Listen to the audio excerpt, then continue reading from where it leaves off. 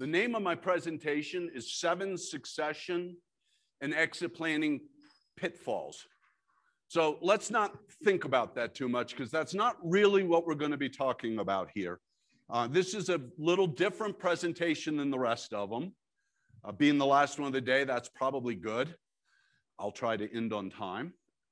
Um, but what this is really about is your life and your practice.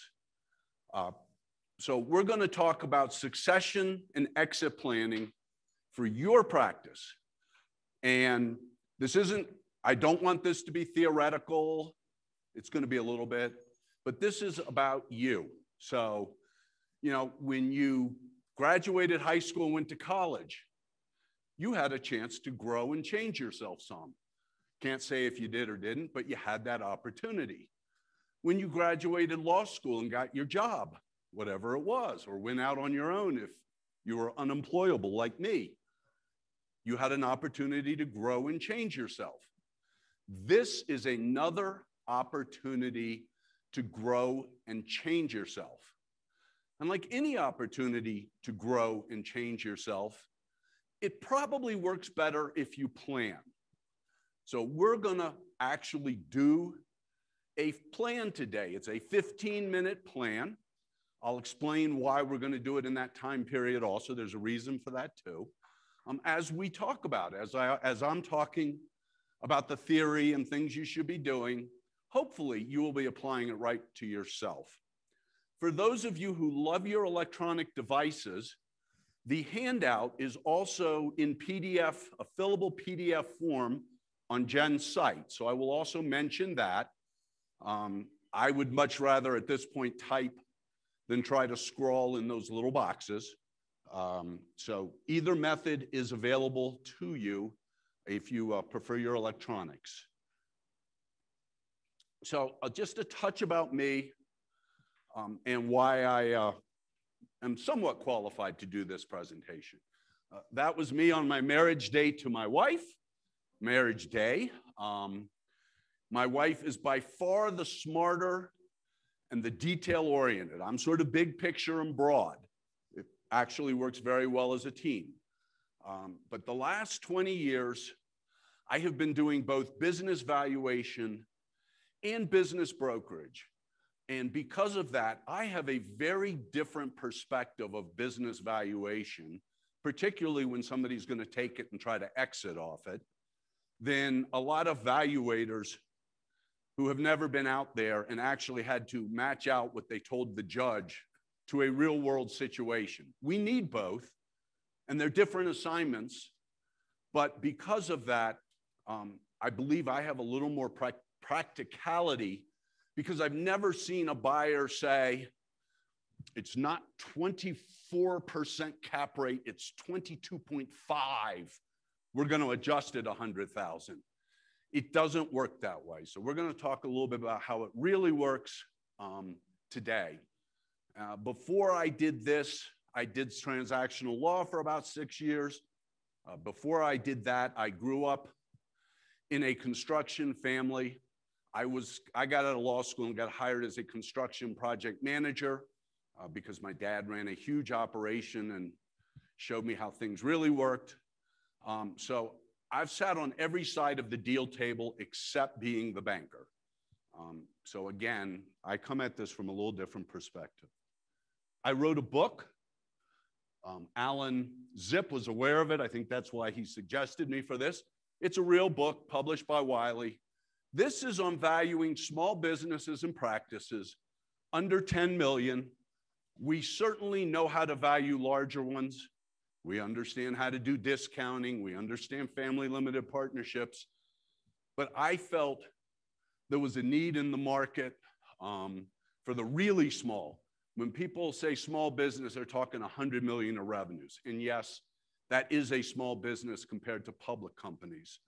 But most of the practices and many of our clients are under 10 million, and it's a different world. So that was the purpose of that. It is a technical valuation book. It has a chapter on some of what I'm talking about today, um, but it was really a book for evaluators, for evaluators. My next venture, I'm starting peer groups for professionals. I am doing my exit planning. Don't have a real good exit from business brokerage at the volume I want to do it at. Um, I've built valuation practice.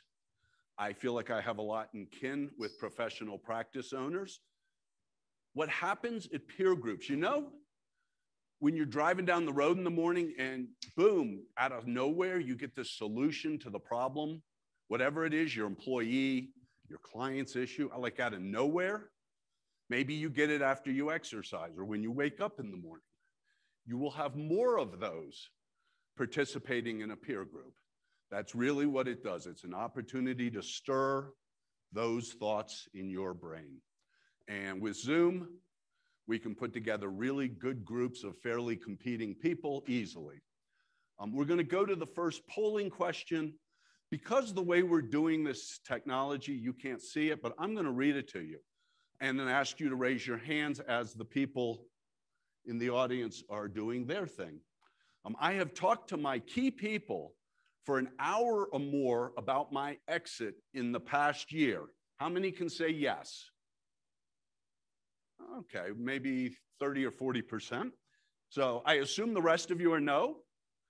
Now, how many of you have it as part of your annual planning process? This is a bonus.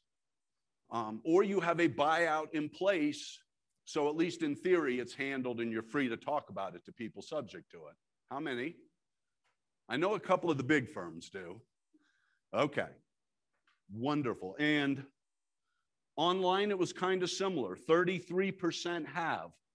Um, as you're going to see, at least from my point of view, that's a missed opportunity. Uh, but we'll talk about how we make it available to you and your people. So we did call this the seven pitfalls, or I did. And the first pitfall is the laws of gravity don't apply to me. I was actually looking at getting little pocket mirrors so you could look at yourself because for most of you, the biggest impediment to your exit, you will see in the mirror when you brush your teeth in the morning. Because we all believe the laws of gravity don't apply. Doesn't apply to me either. I am going to live forever. My clients are counting on me and would be terrified of my perfectly qualified associate. We all have these fears, um, and they interfere with doing the planning for what we want to do next. So, because of this, being convinced that gravity doesn't affect us, is 70% of all businesses don't sell. And it's not just little ones. You'll notice below it 50% of the businesses with revenues between 10 and 50 million don't sell. That's kind of amazing. Um, and it's also, if you remember when we have the recessions, it happens. Um, it just does. As I like to say, if you're always miserable, worn out, have no free time because you're working so hard because you got to do everything, why would your kids, why would your managers want to buy you? So think about that as we get into the details. What do you really want? Even as you continue on in your practice, if you're a long way away. And you know, we have two big parts of how we think. And I love this picture. You know, the question is which man is smaller? And now you all know analytically, the guy on the bottom left, bottom right to you, this guy looks smaller. But you all know I wouldn't be asking you that if it wasn't rigged. Your gut is saying, Greg's got a trick here. Well, this is a very famous optical illusion. And the two men obviously the one is bigger. The two smaller men are the exact same size. And I've measured it and measured it and measured it because my brain doesn't believe it when because we take shortcuts. But we're very analytical group. And because of that, we can convince ourselves of anything we want because we're really smart and we know how to put together arguments that are really good. But what happens when people exit plan is at some point they do what they want, they go with their gut. The only exception is a lot of men are going to do what their wife helps them decide. So, and I find that more with men than women. The biggest burly contractor, I'm gonna do this, I'm gonna do that. He comes back and says, Wife says I'm not selling. He's not selling. Um, so, part of the reason I want you to complete this form in the different pieces quickly is because that's more likely to be from what your gut, from your gut. Because when, like I said, when push comes to shove, you're going to have a million reasons why you don't execute that plan. I guarantee. Um, and you're even going to have a million reasons why you shouldn't fill out this form. Uh, but we'll talk about that in just a second. So, the first step is about you personally. You know, it's about when you retire, I will do. What do you want to do? My dad retired at 56. And when I called him from work in the morning, he had been up and at 'em for two hours. He had things to do. He had things to do till he went to sleep at 10. There are other things to do. There's charities, there's fun things, there's arts. You know, there's many, many. What do you want? You can work part time. You know, I don't really ever intend to 100% retire. I also don't intend to work 60 hour, 50, 60 hours a week for forever. So write down what you would like to do. Write down why you want to. There's this concept of things pulling you versus being pushed. You know, if you have a mandatory retirement because you work at the big firm of 70, well, they're pushing you out the door at 70. Most of us aren't don't have that. So why do we want to do this? What will pull us towards it? What is exciting that we don't get to do in today's life? And then the last one is let's face it, why do you resist? Why do you resist filling out this form? Why do you resist putting a plan in place? Why do you resist talking to your employees and your clients when the time is right? And we'll talk about that in a few minutes in a little bit too. So fill that out. And we have the next polling question, which ties into the next section I'm going to cover. I know my key financial and management goals and metrics. I review them quarterly and regularly grow the top and bottom line. Now, how many people do that? How many have people have them written down? Okay, one. Very good. We've got the, uh, the doctor, the dentist with rotten teeth. Um, obviously, plans help. I have a bonus that you actually do this with your team regularly. Uh, it, it sounds like that's really rare air. And online, five people said yes. So apparently online are, or you know, they're either, they're either lawyers fudging the definitions or uh, they're a little more on the ball than in the room. Okay, pitfall number two your ATM is out of service too often. Now, what do I mean by this? My son, I, my oldest boy, when he was little, he was like baby Huey. I mean, he was this tall when he was three, and he was clumsy. And one day he comes up to me with this deep voice. He goes, Daddy, I know how we get money. We go to the ATM. That's true. That's what he saw. And people who are buying your practice, think about it. You go to the ATM, you put a card in, you push some numbers, and the money comes out. It's a system. Now, you got to put some money in, but it's a system that produces money. And think how upset, not so much anymore because everything's gone to cards, but back when you actually needed some cash in your pocket, when you went to the ATM and it didn't work, Think how upsetting, you know, oh my God, now I got to go to the ATM that's going to charge me a fee, or there isn't another one around. Same way with your business. If, if the ATM isn't working, or if it's way up and down, you're going to have a penalty. So, the standard of value in business valuation, we're always talking standard of value. That's sort of the deal terms, real short. Who's my buyer? Who's my seller? How long do we have to put this together? Well, for transactions, it's repeatable future cash flow so strong I'll pay for it in advance. Think about that. Think what you need to do to be that comfortable and that trusting of putting down, you know, a hundred thousand, a half million, two million that your house is guaranteed on, perhaps. So again, it ties into cash flow, how much money, and the multiplier is the risk. And the way we really increase value is we work both sides of the equation. We raise our cash flow while we're reducing our risk.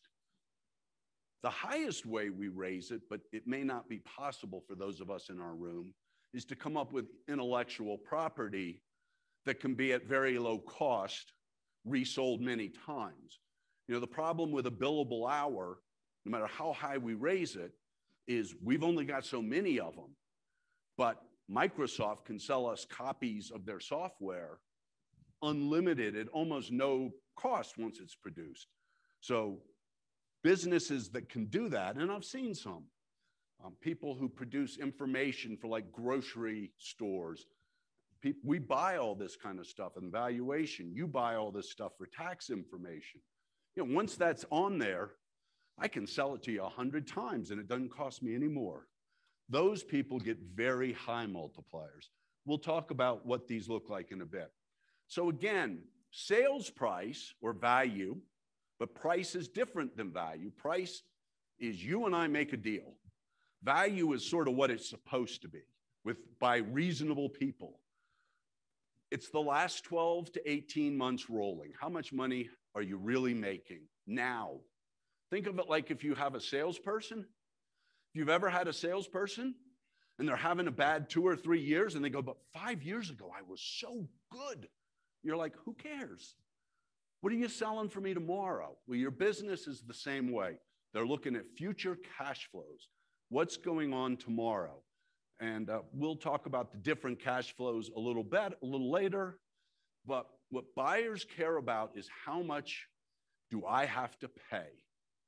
If you have a law practice with no non competes, because that's what the Constitution has been interpreted as saying, and you're a year out and you haven't talked to your associate about buying you out under something, you gave it to him. Let's be real. Why would he pay you for what he's going to get if you're really in a year retiring or if you get sick? Again, um, it's what does that person have to pay? And uh, we can talk about, I can talk about value all day long. But if you let yourself get in a box, you may have a, you may not get the price, the value you deserve. So basically, businesses, I call it the working model, the ATM. It's profits, processes, and people. How much money? We talked about that's cash flow and then processes and people. How do we reduce risk? If you're the only person that can do 60% of your caseload and the only person that can sell it and the only person, whatever, that's a lot of risk to anybody looking at it. Now, fortunately, if you have an accounting firm that does repeat work, you're going to be able to sell it. You just may not get to take care of your employees the way you want. You may not, you know, have your customers taken care of the way you want, but you will get a price because you've got repeating work. Lawyers, it's not quite so easy. What my dad always said was quality systems exist when average people, because we can't always hire the top 2% of the class, when average people get extraordinary results every time. And they were doing a billion dollars a year of office buildings, of, and condos and hotels. So it was the people way down the chain doing the work. Quality people, average people with excellent, extraordinary results every time. The other thing he always said, being a general contractor, was make money today, make money today. Good thing to think about if you're trying to increase the value as you head towards this towards an exit, or frankly, anytime you're running a business. we can always, we're smart people, we can always have a reason why we had a bad year, but we'll never put that money back in our pocket. Now, I have my apple here because people come to me all the time and they go, Greg, it has so much potential. Well, my apple here has a couple seeds in it, and I got those seeds for free. Now, I could go buy a little package of seeds. I have no idea what they cost anymore. And in 10 years, I'll have an apple tree. But I don't pay for the tree, I pay for the seed or maybe the apple if I want to eat the apple. Same way with you. If you don't have potential, they won't be interested. They'll just go get a job. But they're not going to pay you for the potential, they pay you for what exists. Very quickly with small businesses, part of the reason, you know, we just had a pandemic. Hopefully, we all think it's ending. Hopefully, it is. Walmart, Target, Costco, you know, they grew. The local sport, out, good, outdoor goods store was closed, even though people wanted to buy their stuff. Small businesses, including yours, have concentrations. You can only have so many practice areas and do it well. You can only have a geographical area, especially with our licensing if you're law, and, and do it well or do it at all without finding a partner. That puts us at risk. We, Robin and I, spend a lot of time in Steamboat. The hotels in Steamboat, well, they didn't do great. They did a heck of a lot better than the ones in New York City by our Princeton home, our Princeton location area home. Hilton, well, it got hurt. You know, it's got them all over the place. It's averaging out, much less risk. And again, you're your biggest risk. Some of these other issues, they certainly exist, but we're not going to spend time on them today. Um, I think I've covered, this is a little more detail of what's really on this page. And these, you know, mistakes, real estate leases. If you're going to get bought by a bigger firm in the area, you probably would like to be able to get out of your lease as soon as possible because they're probably going to want to move you, and that's an expense. Of course, if you're running a retail, you know, I sold a Jackson Hewitt. It does taxes. It's not exactly like what's in this room, but it was some of the same forms. They were retail oriented. They needed their spaces. You know, their location was very important. So again, if it's a mess, if, if your financials are bad, if your office you know, looks like the green shade accountant where the wall hasn't been painted in 20 years and you got the metal, the gray metal, file boxes, and it's not going to excite a buyer. They'll buy it. It's not going to excite young kids coming out of college either, frankly. Um, last thing I will mention on this part, because people always want to know accounting is a little different. It will often sell based on revenues. But I believe that's because I can go in, look, if I'm an accountant, this is what I do. I can go look at your files and I can figure out what my time's going to be. And if it makes sense and I can make a profit, you know, your profit is less of a concern as what I can make because I can estimate that if I, if I go through enough of your files. But most businesses sell on their cash flow. The two cash flows are EBITDA, earnings before interest, depreciation, and amortization. And what that is about is that's a fully managed business.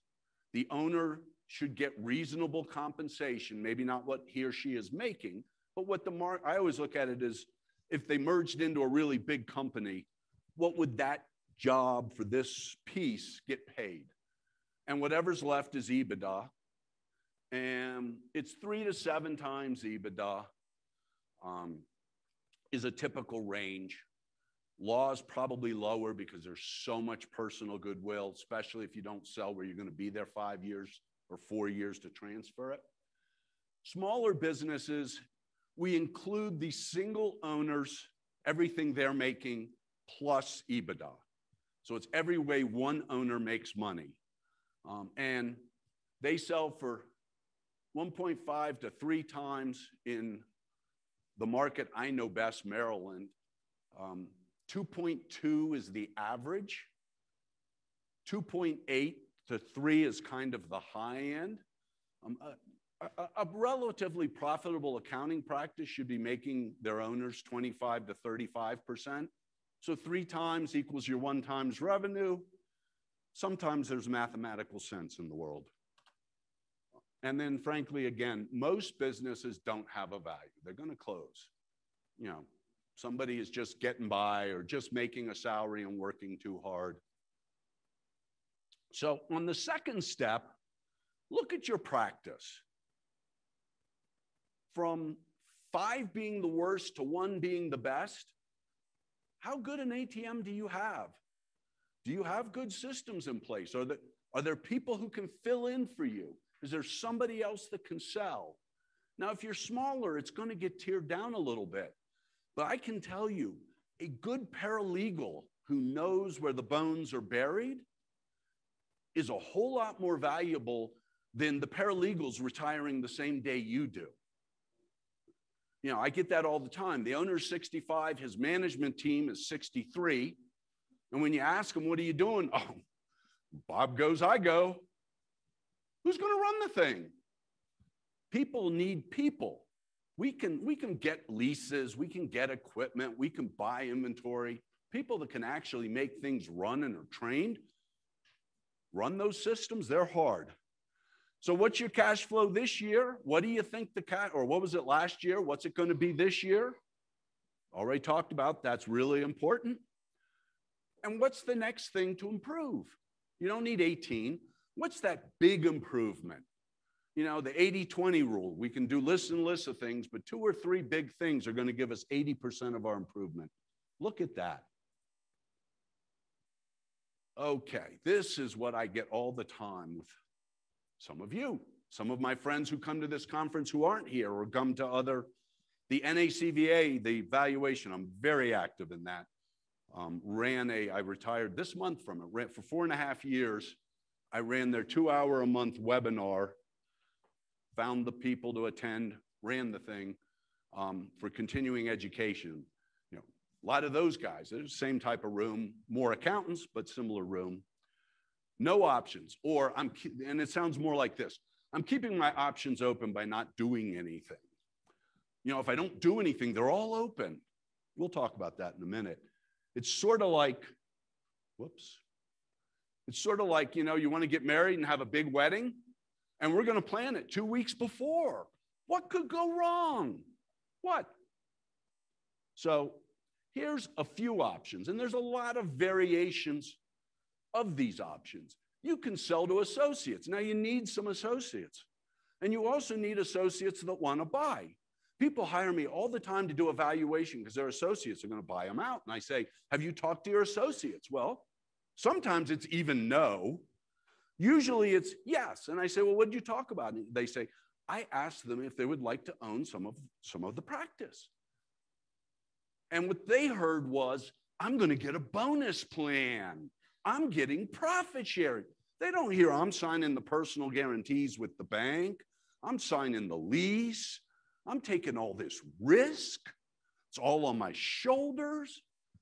When you have that conversation, make sure you really explain what you mean. If you're looking to hire someone who might be that person, make sure they understand when you say ownership, you mean in three or five or seven years, they're getting the good and the bad. There's reasons you stay up at night and they don't. Let's face it. Um, but that has a lot of flexibility. The other thing is if you want them to buy you out and not take back the financing, you got to help them make the money before the closing date because the bank isn't going to lend to somebody that has nothing. Even SBA isn't going to lend to somebody with nothing. And I see that all the time. Nesting. What nesting is, and, and this works really well because one of the problems we have with small practices is if I'm selling you my practice and, I, and I'm going to work full time, I want to get paid full time. Well, if I'm selling off the value of my earnings, including my salary, I can't double pay. So in nesting, what you do is you sit down with your buyer and they look at, you look at all your overhead costs, including your assistants, your receptionists, whatever they are, and the buyer will take over those for whatever it's costing you. And for the next one to three to five years, however you want to set it up, But what you usually do is you put a date in where the seller can pick the date, and then you have a formula, three times earnings. So he or she makes exactly what they would have made based on their productivity, and they get a sales price after we've already done the transition. The clients know where the parking lot is, they recognize the receptionist.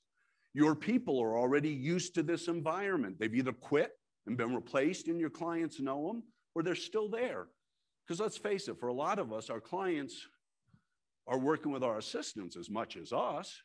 If the assistants stay and the work gets done properly, we're probably more fungible than we want to admit. Um, you know, there's work till you die. Nothing wrong with it if it's what you want, but how do you want it, the outcome for your employees? How are you going to cover your, your um, customers? I've got a friend right now. He's made a couple referrals to me. He's 72. And a, a couple of the referrals I've been working with on these types of things for five or seven years now. And they're starting to say to me, What are we going to do when something happens to Bob? Now, Bob is terrified that if anybody finds out he's exit planning, they're going to leave. That's gravity. You know, his clients want to know how they're going to be taken care of. Um, to family, I'm not going to spend time here. I grew up in a family business. Um, I'm the black sheep. Uh, so I can tell you all the good and bad of that. Um, right now, especially for accountants, a lot of roll ups going on. Um, can be a very good outcome if you've got what they want. We'll talk about that a little more in a minute. The biggest issue with options is they take time.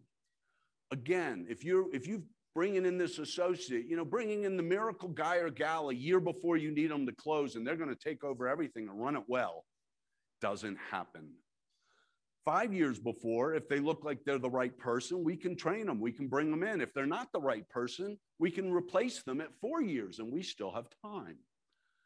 Same thing with any element of this. If you know, you should be financial planning for your retirement from the day you get out of college, if, if you can. You know, that's preparation for this. When people come to me and they go, you know, I really want the $2 million. I do, but I don't need it. It's like whew, such a relief for all of us because sometimes things change on their side. You know, if th- something happens on their side that increases risk and they're not going to get the 2 million. So it's, it, that's a big piece of it. So again, look at this early, plan early. It takes a long time. It, like I said, if you have a law practice and a couple associates, you know, if you want them to pay for you, you've got to figure out how to make it a value and lock them in when there's something for them to lose five or seven years out.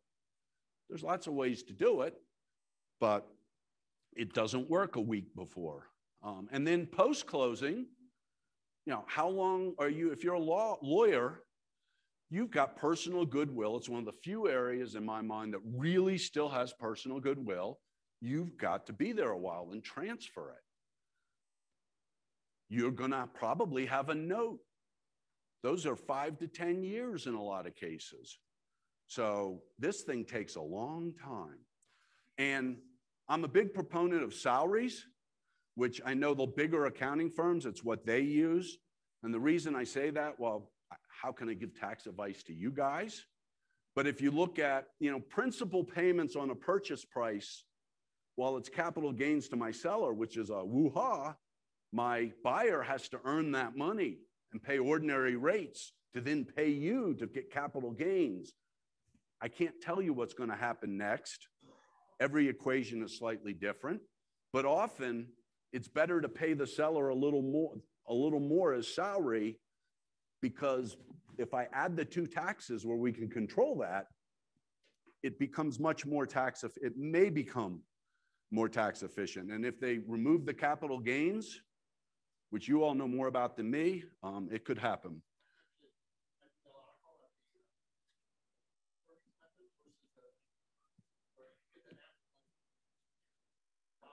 Right.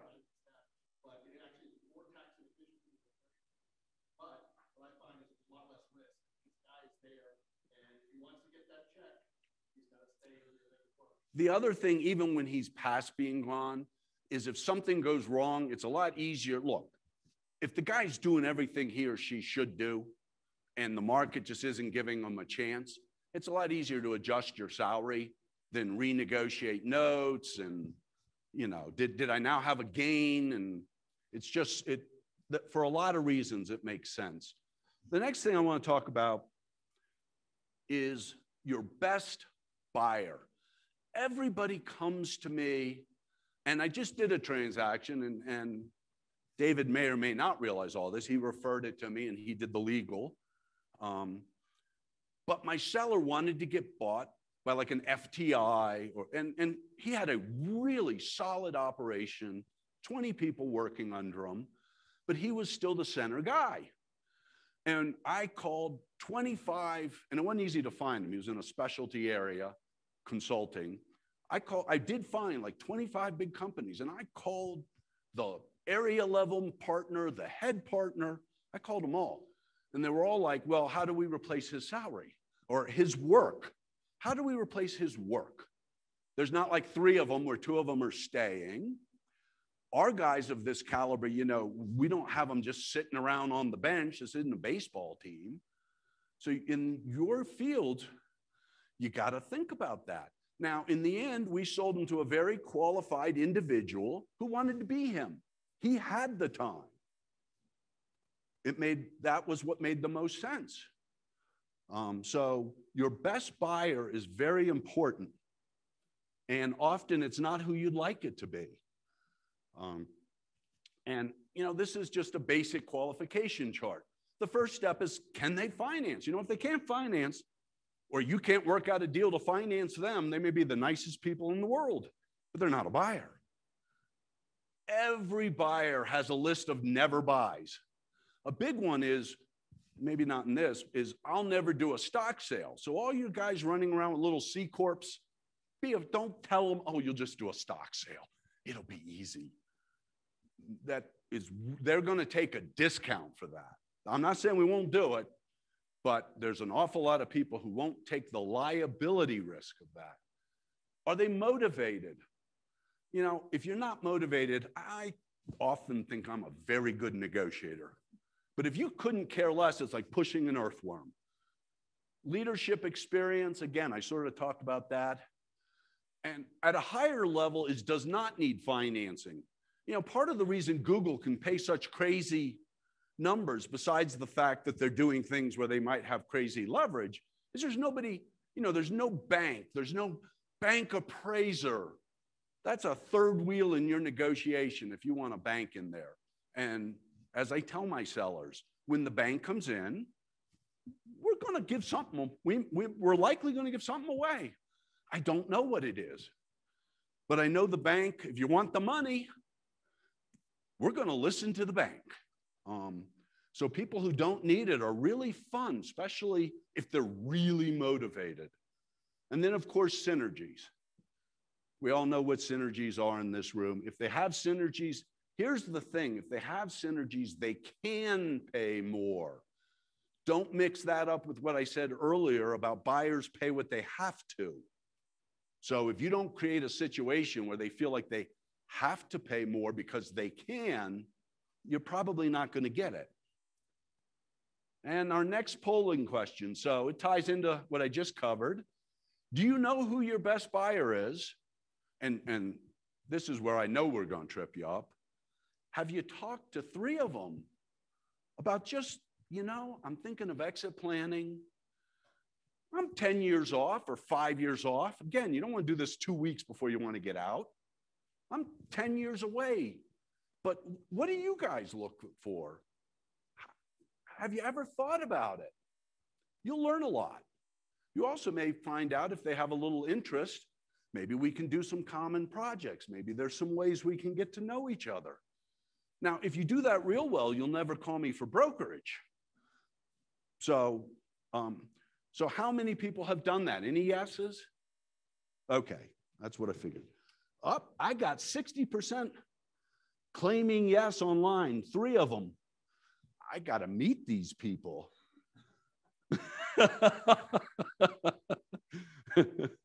you know, these are not questions you're supposed to pass, but they're very relevant and true. And, and, and I'm a big proponent. Seriously, if you're way in advance, go talk to them. They'll tell you stuff. They'll tell you who's going to take over your hours or whatever it is. Because what you want to do is you want to shape this thing as you're exiting towards your best buyer. So the next one, it's all about the numbers. And I kind of say this with a certain level of it is and it isn't. We're going to talk about both. And I'm two minutes behind. Oh, you know, every accountant has said this to every client I have ever had. You will only sell for peanuts versus what you make every year. Now, peanuts is an accounting term of art, and we all know what it means. Why would you do this financially to yourself? And I sort of get it. Um, except sometimes people actually do, you know, where we started, what do you really want to do? What would you like to do next? There's a lot of people out there who have that, or something starts happening to their friends, or they have health issues, and all of a sudden they have them if they didn't before. Um, and if you sort of plan for this in advance, it gets easier. And, and here's why you want to do the planning. And this is a little more of an industrial company. I didn't change all the percentages. But basically, this is a company with 10 million of revenues, and both of the charts start at 10 million of revenues. And they got like a 70% cost of goods sold and, and 2 million of overhead. Now, let's talk about overhead. Especially if you're getting tired, not paying attention, you're sick you know, as your revenues fall just 10% a year, kind of rounded for simplicity, as your revenues fall 10% a year, your overhead probably does not fall. And if it does, it does not fall 10%. It probably falls one or two or three. So what happens? Remember that cash flow formula? So the gold is what you sell for. You start at 4 million. Well, three years out, you're at a million six. Should that person, if they were ready, have sold on the first year as fast as they could, maybe take 3 8, make it a good deal for someone because they because they're no longer interested? I think they should have. This is what you do if you just grow 10% a year and you keep that overhead tight because you know, you know you're going to sell and they'll figure it out when they get it. You're up to 6.4, same company. It's just math and a lot of work. Don't get me wrong a lot of work. You're adding a lot of people here. You better have systems as you do this, or you're not going to. I work with a lot of construction companies. A lot of them, the more work they do, the less money they make because they don't have the middle management. Um, just to emphasize, and I call this again dog chasing its tail, don't be the dog, because I get people who call me every one of those years. Can I sell for four? I tell them, you sell for four. And they go, Can I sell for five? Nope, four four, maybe four and a half, but not five. Let's not waste our time. They call you next year. Can you get me four? Well, remember that formula? And they never sell. Don't be the dog. This is the dog. This is you. If, if you put a plan together and at least keep things going.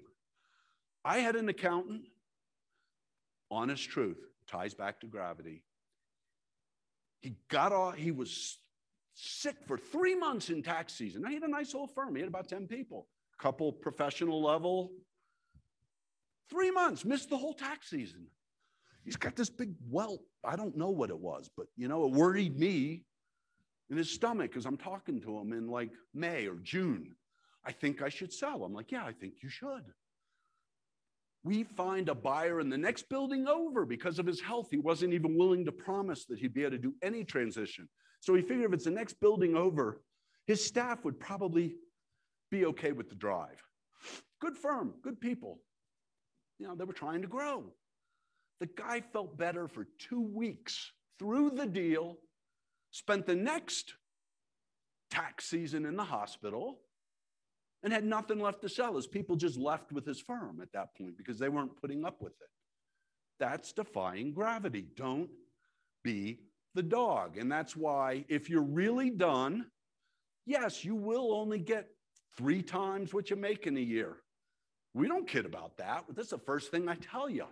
So when your clients come to you, well, this is more about you. If your clients come to you and want to talk about this, if they were working with honorable people, that's the only thing they do know. All this other stuff they need to work through. Who are they? What are they doing next? How involved are they going to be or not be? It's all the emotional stuff. This is my piece that is not the numbers. And you know, the problem is a trained monkey like me can figure numbers out. I hate to say it, I apologize if you're offended, but culture are your people and my people going to get along and actually create a synergy? Or are they going to fight and I'm going to lose two thirds of what I'm buying? Because what am I really buying with companies like ours? I'm buying people who know those processes and can operate them seamlessly and get excellent results every time. So if they all quit because they hate the new guy, it didn't really work. Even, even if you somehow managed to keep it going, you didn't get what you could have got. So do look at culture. If they're if you're joining a roll up, get a list of everybody they've acquired, including the ones that didn't work. Call them. Nothing's going to work all the time. But you know, it's good to know what you're getting into. They're going to tell you a few things that you'll be glad you knew. And don't forget the rest of due diligence. I meant to put a link here, I didn't. If you want a very good due, oh, I think it's a good due diligence sheet send me an email, let me know here. I'll get it to you. Also, look at it as you're a year or two or three out. What am I missing? What should what can I improve? We try to do that with our small clients. Most of them won't get us the stuff. But you know, even if you've got a problem, if we know what it is, we can sell around it. People, there's people who'll deal with almost anything if it doesn't shock them. So the next part is write down what your goals are. How much would you like to sell this for? What terms would you like? And I know we'd all like all cash at closing. And I'm not saying you can't have that, but you've got that takes more advanced thought because you've you've got to have a machine I'm more comfortable with. If I'm really going to give you all cash versus I'm going to do you on some sort of earnout, or I'm going to take a note. And if anything goes wrong, we've got a right of offset. You know, those are ways we cover the risks when we can't convince the person that this is, you know, I'm buying the apple as an apple and this is a tasty one. It, it doesn't have any rot in it. Otherwise, I'm, you're going to finance my apple. And after I eat it, if, if there's no rot in there, I'll pay you full price. Um, it's shifting of risk. Who's your buyer? Again, if you get anything out of this and you're not a year away or six months away, find a way to go talk to the bigger firm you'd like to merge with, the firm your own size. You might like to, you know, work out a, a risk sharing. If something happens to me, maybe you'll do it so that my clients don't get left hanging. The different things, you know, this all ties in. You know, a really good sellable firm is a firm you don't even want to sell because it's, it's pretty fun to run. Things are working. So write down those and write down some options, you know, because options give you flexibility. The one thing I always tell my sellers is let's put in there that we'll consider financing. Let's put in there whatever it is a buyer might want, and let's hear from them. Because every now and then, someone is so willing to pay a premium if we do it their way that it's worth it. It's certainly worth listening to. This uh, probably applies more in my pure accounting than my accounting law. I attend a lot of the valuation conferences. And the guy gets up there and he's a very good valuer, should be doing divorces all day long. And he goes, Well, it was a, like I started with, it was a 24% cap rate and I got it knocked down to 22%, and he didn't pay that giant broker fee. I did him a great favor. Well, okay. And on the stand, that may be a great resolution. And maybe it was, because I don't know the rest of the facts. But you know, when you go into a car dealership, at least has been my experience, I always gravitated towards that car, whatever version it was at whatever dealership. That's emotion. I went to that car. Okay. We bought the minivan. We just bought the four wheel drive SUV because we're in the mountains a lot. But my emotion, I would just at least let me take it out for a spin, right? And emotion drives this. I don't even care if it's big companies. You got one or two or three people who they're emotionally committed or this isn't going to happen. I even call this the business cycle in emotions. And right now we're in greed. We got people doing silly things. God bless them. I hope it works out. Um, I feel bad for them when it doesn't because I like my buyers and I want my deals to work for everybody. Less in, less in these industries. Um, you know, but then something's going to happen. The interest rates are going to go up. Mortgages are going to, you know, foreclosures are going to go through the roof because everybody's buying on their payments at 3%. Now it's at 5%, so nobody can buy. And then we have denial. I'll go to closing. It looks bad, but I'll do it. And then, and then we have fear and panic and foreclosure, right? And the smart people buy at relief, maybe at foreclosure, relief. But if you want your best price, you want excitement. Don't wait for greed. We're not that good as humans of guessing what it's going to be. As I tell people, valuation is forward looking. If I could really predict the future, I'd buy a couple stock options every morning and be done. Um, so don't, don't try to hang out too long on it. So these are the keys to a high price, and I actually sort of made these click down. Again, when I'm qualifying that person, the other thing that isn't on the chart is what is the motivation? Are we trying to have the biggest law firm? You know, we want to be a top 10 accounting firm and we're at 15 and boy, you guys can move us another notch. Okay. Now, when we get stuck on price, when my seller comes back 10% too high, then you go, I can't do that. I'm going to say, hey, you want to be a top number 10 accounting firm, right? Yes, we do.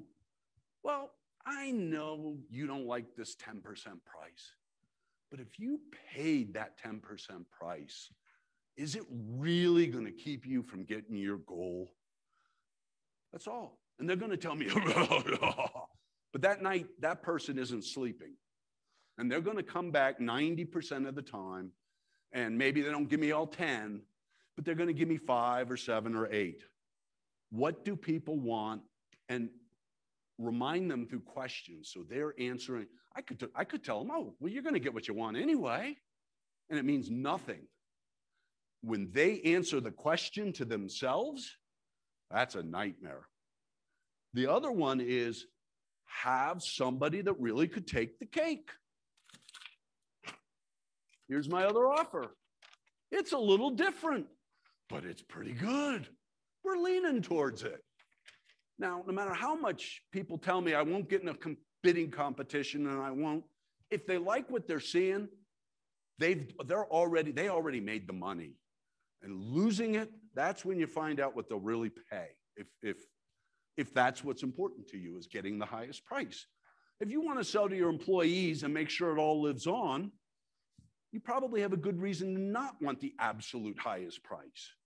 Um, but that's what negotiation is. That's far more effective. You know, at some point, we all start arguing cap rates and multipliers, but that's a loser for us if you're a seller compared to someone else is going to take it. I, I feel terrible. I like you so much, and someone else is going to take it. And improving results. Hire a broker so you can focus on keeping your results. This is emotional anything going sideways scares people. We kind of talked about this again. Quietly get the word out, make it easy.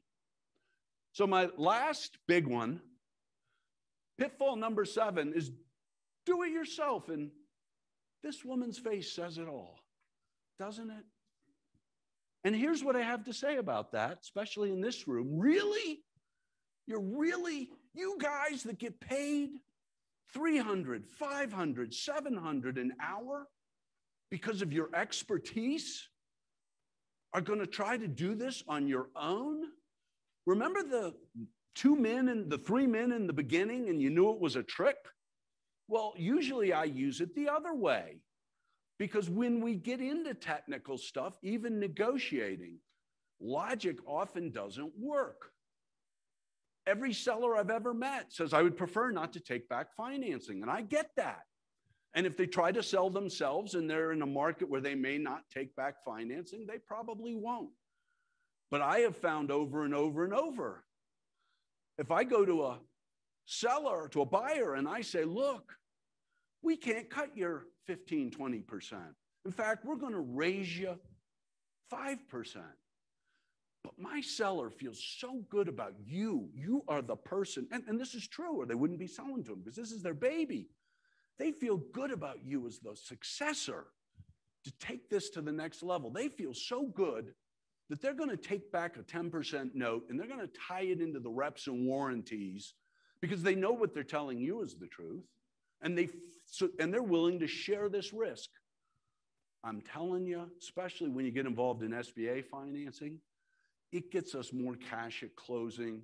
It's a bonus. And I tell my sellers, you may, if you don't collect this, don't come back and yell at me. It's bonus money.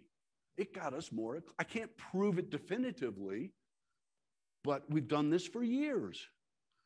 So I'm not going to spend a lot of time on this slide. You all are experts. You know all these people. Sometimes when I'm talking to contractors, they don't. You guys know these people. The only thing I will say is everybody is really leery to hire improvement contractors. And by that, I don't mean home improvement, I mean consultants that can help you with your marketing or teach you a sales process. Sales is a process. You guys know it or you wouldn't be here. But a lot of the junior people don't. You know, they're terrified of it. Somebody that can speed it up, even if they cost 10, 20, 30,000. You know, if they can make you, if they can really show you how, and some can't, they can really show you how to make 50 more this year and 100 more this year, next year, that's your best return on investment you ever got. So I understand the fear, and you want to make sure you're hiring the real deal who's got clients that like them. And we all got at least one, so hear from a few.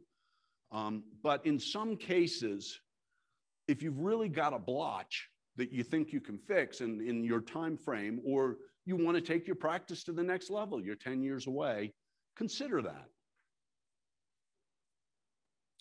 That's a sign of loving what I'm talking about. so write down your team, folks. Write them down. You've got financial planners. Nobody in this room doesn't have a financial planner except me, and I am the worst self financial planner on earth. You know, who do you trust that can help you do an evaluation and can look at, okay, what are we missing? we do a tremendous number of calculations of value. If you're 10 years away, it doesn't need to be perfect. I didn't say that. It, it needs to be reasonable so you can plan because it's going to be completely different in a year because we do valuations as of a date. Now, if you're going to sell to your employee in two months, we better do an opinion of value and check out every little detail. Don't, don't get me wrong, there's different uses. But, you know, who's on your team that can help you look at it from that? Who can help you fix your issues if you have them? Do you know a business broker, investment banker, whatever? They probably, you know, brokers love to talk. You probably talk to them for an hour. They can tell you all kinds of things you didn't know, especially if they work some in your area. Um, you know, so write down your team. And then I have the I believe, the last polling question. So, and this is sort of a back to what's the status of my business. Um, how many of you in the last two years, and I'll give you three, took a week off and didn't call, text, email, check the website, whatever it is that you track for more than an hour in that week? Like the business, the practice actually ran itself. How many of you actually did that? One.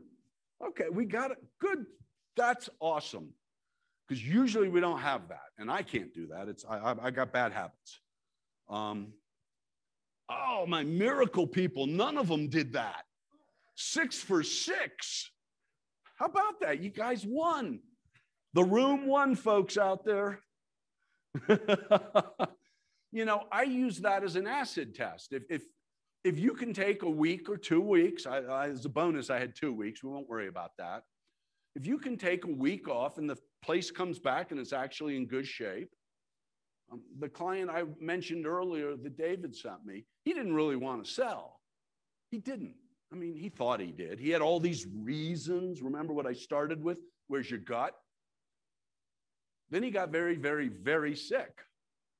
And we found out two things. One, his firm could run itself, which was kind of nice for him because he was out for three months. I mean, completely out. Then he came back and did a lot of work, but um, his firm could run itself. And, and that's huge because, again, if you want to retire at some point, they're not buying you. I got fired from a woman once. She ran a small consulting firm. And, you know, I wrote up the package discounting her because we want to sell her. And she sat me down and yelled at me how I didn't understand how important she was and fired me. Well, I guess it was probably a good thing um, because she didn't get planning. So if you can do that, try to do that as a goal. It's a great test. So, lastly, I kind of call it don't ignore gravity. You know, I was raised by a contractor, as I already mentioned. So life was a Gantt chart. This was back, you know, before everything was on the computer. And we'd print the big architectural sheets with the Gantt chart schedule, and you would highlight what you'd done on your critical path, and you had a, you had a, you know, chalk line of the on the date, so you could see whether you were ahead or behind. I mean, it, you didn't have to be very sharp to know this. And that's how we ran our lives. If you don't put dates on this, it's okay. If you miss the dates, it's okay. But if you won't put dates on it, you won't ever say, oh man, I need to get to that. And it'll sort of be like where we started. Well, the biggest thing is people don't start with a plan, which is why, if you took advantage of this and you wrote some things down, this got a lot more real to you you got to put some dates. When, and, and I picked some milestones, you know, that I think are pretty damn important. Now, when am I going to assemble this team? I'm not somebody that says you got to get all six people billing you a 500 an hour around a round table looking at you. Some people like to operate that way. If you do, it doesn't hurt. But make sure you're telling them all the same story and they're hearing you so that your financial planner isn't making one assumption and, and you know, your valuation guy another, and you know, make sure that you're telling them all the same story. When are you going to assess what you got realistically? Like a buyer, you know, like a buyer. That's what brokers do initially. You know, it's really funny wearing the two hats because you come in and it's like, I'm looking at it like a buyer, and here's all your problems. Now, I need to know that to discount them when I'm selling you. But if I don't know them, we're not going to get anywhere. Same thing with you. There's always a way to improve your practice, there's always something you could do better. Assess it from that perspective and then make a detailed, you know, more detailed of when you're going to accomplish these goals. When are you going to finalize what your real goals are? And that and final, you know, final isn't final until you're dead when it's your life. Let's be real. But something that's pretty damn close, at least as close as it could be today. Now, I do valuations as of a date, and tomorrow it could all be different. The day after they shut the world down for COVID, my valuations with a date three days before really didn't mean a whole lot for a while.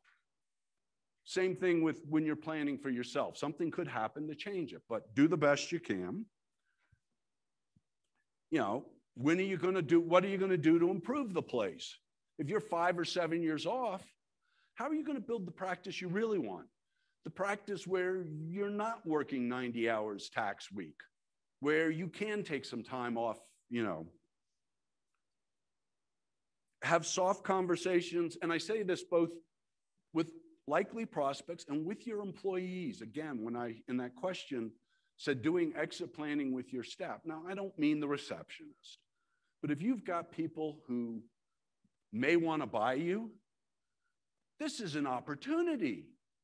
This is a challenge. How do we get to these benchmarks?